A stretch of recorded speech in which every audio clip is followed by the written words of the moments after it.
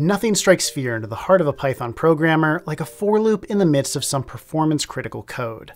Today we're going to see how Python scales when looping over 1 billion rows of data. In this 13 gigabyte text file, each row contains a location and temperature measurement, separated by a semicolon.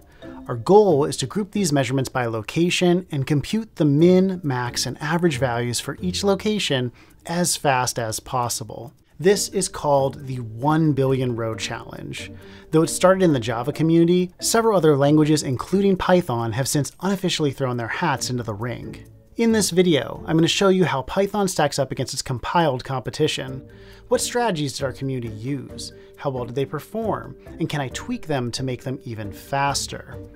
By the end of this video, I'll walk you through what I think is the fastest pure Python approach using only built-in libraries.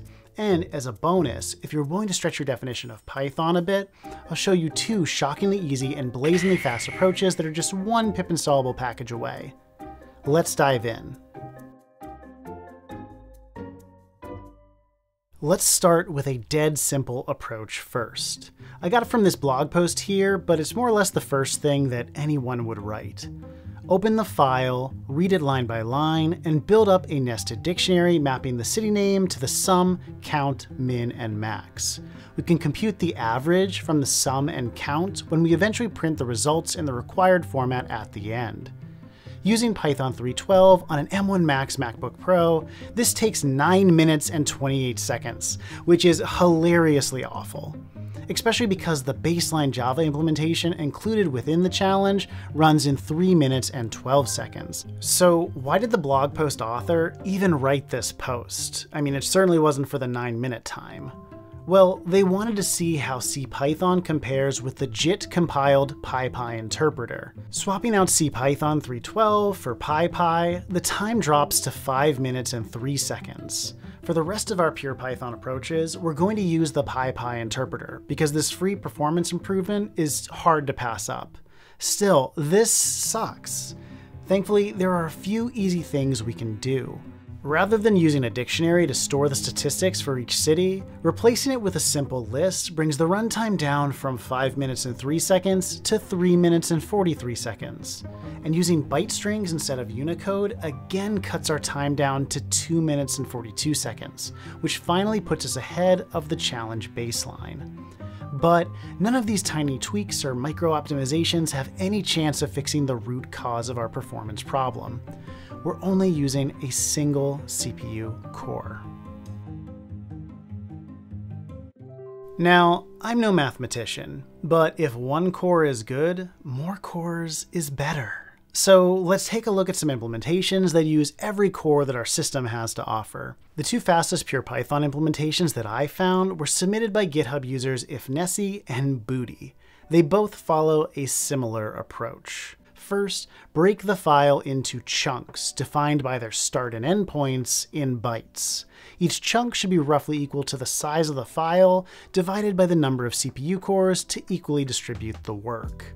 But they need to make sure that every chunk ends on a new line character, otherwise things will get messed up. Then create a multiprocessing pool with one worker for each core. Give each process the start and end points of its chunk, and let it read and process its assigned portion of the file. Now, some minor details differ between these two approaches. Let's look at ifnesi's code to start. Running the code with PyPy, this approach runs in about 30-ish seconds, or about a 5x speedup from our single process approach. But ifnesi's implementation leaves some obvious performance improvements on the table. If we parse the file using bytes instead of Unicode, we bring the runtime down to 23 seconds, which is a 7x speedup on my 10-core system. Let's hop over to Booty's approach. Booty uses memory mapping to map the file into the process's virtual address space, rather than directly manipulating the file handle. In principle, this can make certain I.O. operations faster, so it's definitely worth a shot. Beyond that, Booty asynchronously dispatches jobs to the multiprocessing pool. He does this as soon as each chunk's start and endpoints have been found, rather than waiting around until the full list of chunks have been produced. This could let the first process get a bit of a head start, but we'll have to measure it to see if it pays off. Finally, Booty's code had a subtle bug in it, so it didn't run out of the box, and I had to dig through the densest, most annoying memory mapping logic with a fine-tooth comb to spot the error. To me, this is kind of a reminder that the more code you write to squeeze out performance, the more likely you are to introduce bugs. But after patching the bug, Booty's code runs in about 21 seconds on my machine, so maybe a bit better than ifnesi's, but not by a huge margin. That said, I did spot a few things that could be improved on my first read through. In the performance critical process chunk function, we can defer decoding the location from bytes to Unicode until printing the final result. Also, I'm not a fan of these global variables used to encode which element of the list is the sum, count, min, max, or average. So I removed them, and I also removed the average element from the list because we don't use it. Elsewhere in the code, I wanted to do a bit of housekeeping. We can use the find method on our memory mapped file to replace this clunky loop-based search for the next new line character. And finally, in the reduction step, I managed to save three dictionary lookups per city by creating a temporary file, but this shouldn't matter because it's not in the hot loop of the code. After all these changes, I had what I like to call Doug Booty version 1. It ran in about 18 to 20-ish seconds, which isn't anything earth-shattering, but a second or three is progress, and we've firmly pulled ahead of ifnesi's 23-second runtime. So what's the difference between these two approaches? Well, it's almost surely not the asynchronous submission to the pool, as generating all of the chunk boundaries takes about 1 4 thousandth of a second, which is firmly in the realm of who cares. So in the interest of simpler code, for Doug Booty version 2, I'll use the simpler approach of initializing the pool using a context manager and dispatching all the jobs all at once using a star map, similar to ifnesi's approach. On the topic of context managers, I might as well use mmap's context manager while I'm at it, to help clean things up. Doing a bit of testing, I didn't find any difference between using an if statement or the min and max functions when updating the statistics, so for no other reason besides I like the look of them better, in they go. Finally, to wrap up this round of refactoring, I'll unhard code our input file to make this function a bit more flexible, and fix another subtle bug that was hiding in the code. After making all of these changes, nothing has changed with respect to performance. But that's fine, I just wanted cleaner code. So is 19 seconds the best that we can do? Well, I almost thought so, but before giving up, I wanted to look through some of the top submissions from other languages. There, I stumbled across a really neat trick. Since our temperature measurements all have exactly one decimal value, if we imagine multiplying them by 10, we'd have integer valued measurements. And in fact, we can directly parse our measurement as an integer by concatenating the two slices of the byte string before and after the decimal place and then casting it as an integer instead of a float. We just need to make sure that we adjust our measurements by a factor of 1 tenth when printing our final results, but since that's outside of our hot loop, it's basically free. So where does this little trick get us? Does it eke out another second or two? No. It actually gets us all the way down to 11 seconds. I am pretty confident that this is the fastest pure Python implementation that anyone wrote for the 1 billion row challenge. And I don't think it can get much better. So I did think that, but I was wrong and I came up with a better idea while I was editing. So let me show you that now. We can roll our own parser. There are four possible cases. Ignoring the decimal point for a moment, our number is either two or three digits and either positive or negative. It's easy to find the sign of our number by looking at the first symbol of our input. So a quick test for that tells us if we need to multiply our final result by minus one. But we also learn something else. We know that the first digit of our number starts on the next character. So if we keep track where our first numeric digit is located, all that remains is to distinguish between two or three digit numbers. The cheapest way to do that is to check if the next symbol after our first digit is a decimal point. Based on the outcome, we can multiply all our digits by the appropriate power of 10, add them up, and multiply by our sign. We do need to be careful though, because the string 0 is 48 in bytes. So we can subtract off 11 times 48 for two digit numbers or 111 times 48 for three digit numbers. This speeds up our average running time by about 1.2 seconds, giving us a sub 10 second running time. I'm going to put a link to my implementation in the video description in case anyone can find other ways to speed this up, but I'm getting ahead of myself. Let's get back to the video. So I'm declaring this pure Python approach finished.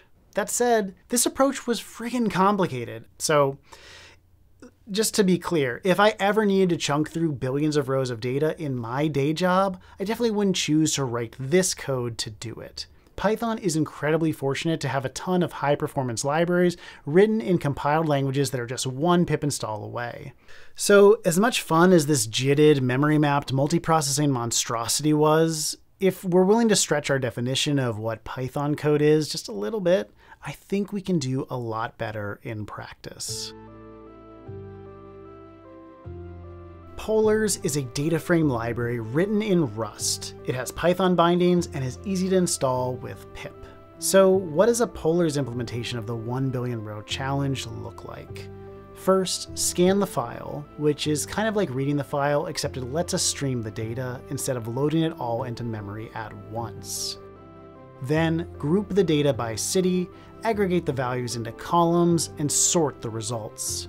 Finally, collect the results to execute the computation and print them in the desired format using standard Python. Several authors found that messing with the streaming chunk size helped, so I tweaked it slightly to get the best possible performance on my machine. In the end, the Polars approach ran in about 11 or 12-ish seconds, which is just as fast as our best pure Python approach. So, given a choice between the two, I'd take Polars in a heartbeat because it's just so much simpler. But it's not actually just a choice between the two. I have one more approach to show you. DuckDB is a really cool SQL database library. If you're just looking for a quick and dirty data analysis, you can easily read data from CSVs or Parquet files into an in-memory database and slice and dice it with SQL syntax. Or if you want a persistent store of your data, you can write the database to files so that you basically have SQLite on steroids. DuckDB has a command line interface, a REPL, and a bunch of language bindings, including Python. So that makes it Python, right? So here's what that implementation looks like. We first connect to an in-memory DuckDB database. We'll select the station name as well as the min, average, and max values. We parse the text file using the very helpful read CSV command and group our results into rows by station name. Once DuckDB has done its job, we can format and print the results using vanilla Python.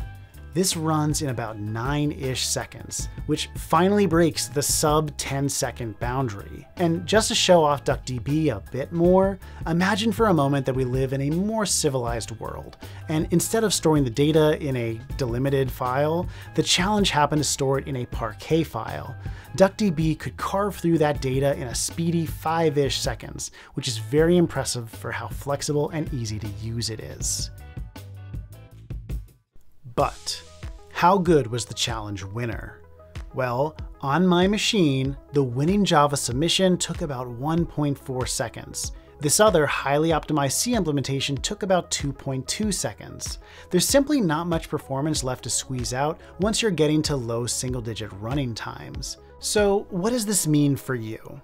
Well, if you aren't a Python interpreter purist, the best pure Python approach is about 8 times slower than the fastest Java implementation. All things considered, I was pleasantly surprised, and as far as I'm concerned, PyPy is just magic. If you're even more flexible with your definition of the word Python and consider extension libraries fair game, then you should absolutely reach out for Polars or DuckDB for your data processing tasks. They were fast, simple to write, and I am perfectly happy to run six times slower code if it means I never have to read or write Java. Writing fast and efficient code is a hands-on and iterative process where we try things, we get feedback, and we use what we learn to guide our next steps moving forward. I find this workflow really satisfying and helpful for learning about what works with Python performance tuning. If you do too, I think you'll really enjoy today's video sponsor, Brilliant.org. Brilliant is where you learn by doing, with thousands of interactive lessons in math, data analysis, programming, and AI. As a learning platform, Brilliant is incredibly effective because their first principles approach helps you build an understanding from the ground up. The hands-on problem solving in each lesson lets you play with concepts yourself. And like optimizing code, it's far more effective to actively engage with concepts and receive feedback than it is to passively go through the motions, like only listening to a lecture or only making changes to your code without knowing which parts are slow. Brilliant helps you build critical thinking skills. You don't just memorize things, you become a better problem solver. Brilliant's fun lessons are a great replacement for mindlessly doom scrolling on your phone. Just a few minutes every day can build real knowledge that will help you achieve both personal and professional growth. Recently, I've enjoyed working through how LLMs work, which gives you a hands-on look at what's going on under the hood of these otherwise opaque models. You explore how LLMs build their vocabulary, choose their next word, and more. This course interactively illustrates its key concepts by letting you play with models trained on different datasets and even gives you a chance to tune an LLM to tailor it for different applications. To try everything Brilliant has to offer for free for a full 30 days, visit brilliant.org slash Doug Mercer or click the link in the video description. You'll also get 20% off an annual premium subscription. If you enjoyed this video, you'll also enjoy this video where I pit four compiled Python approaches against C++ on a dynamic programming problem. Or if you'd like to hire me for one-on-one -on -one Python coaching, code review, or pair programming, you can check out my website at dougmercer.dev to find out more. Thanks for watching, and uh, why don't you hit up the plus sign on the way out? Thumbs up, whatever it is. Thanks.